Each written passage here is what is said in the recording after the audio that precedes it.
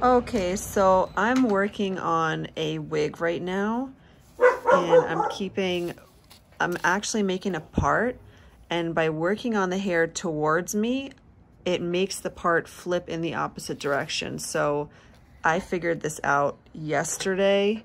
Um, so this is a close-up of how I ventilate. So I hook my ventilation needle into the lace. Maybe you can get a little closer.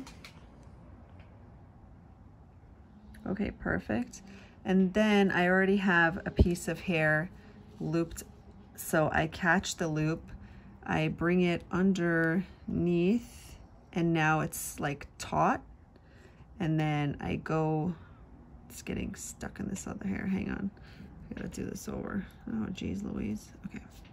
And you know what? I need a darker piece of hair so this can show up better. So let me get another piece of hair. Can I stop? No. okay. Give me one second.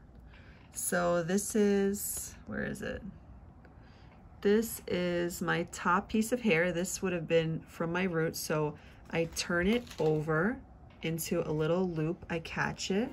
And now I'm going into the lace just like that. So I'm under a piece and I catch that little loop that I made like that. And mm. I pull it, I pull it taut and then I go over both strands, twist up, and then I pull through and it makes a little knot and then I pull it through like that.